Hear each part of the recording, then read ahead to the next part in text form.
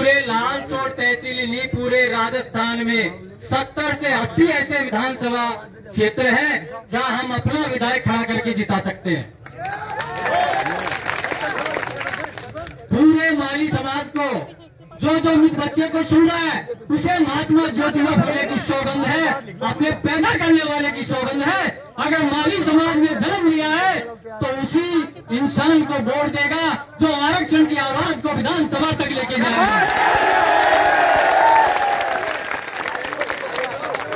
नहीं तो किसी टोली की औलाद है?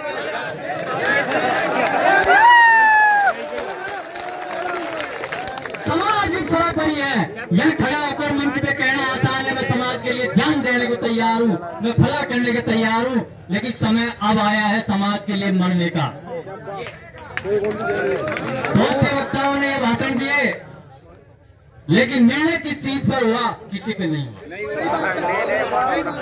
सर्वप्रथम इस बात पे निर्णय होना चाहिए कि हमारे क्षेत्रीय विधायक प्रसादी लाल जी को ये समाज मिल करके और अपनी मांग उठाने का संकल्प लेकर के कब जा रहा है।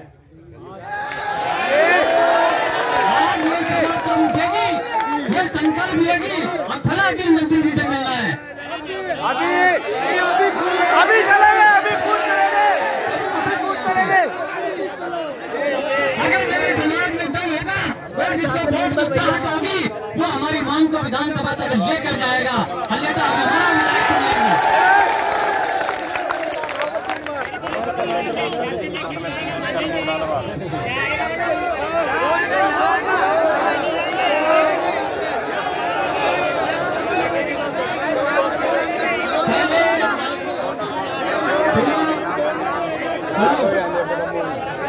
देखो ऐसा है सुनो ज़िंदगी में एक बार वो भी एक नेता है। वोट लेना हमारे उसके भी कई कार्यक्रम होते हैं।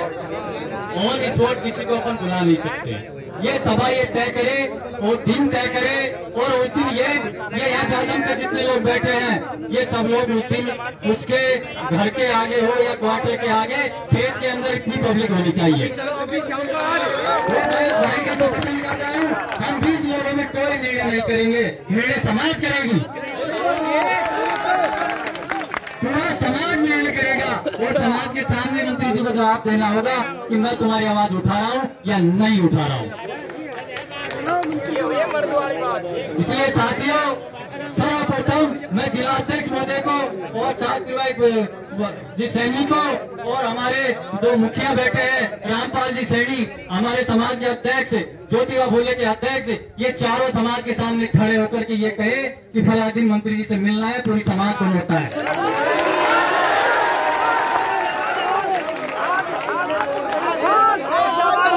अभी चलेंगे आप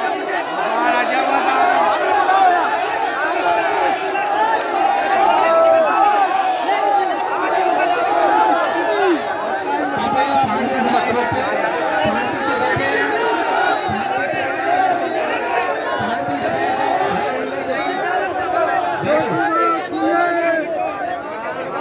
बैठो। पहले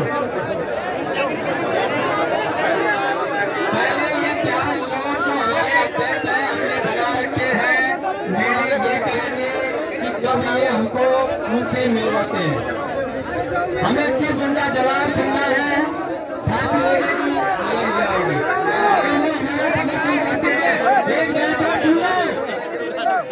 एक बात और सुन। लो अगर असल मारी हो तो जबान पे रहना। अगर प्रसाद लाल जी ने हमारी चिट्ठी लिखी तो वोट अशोक गहलोत को देना है। अगर असल सैनी है तो। बात दोनों होगी। अरे अशोक गहलोत ने बात दोनों होगी।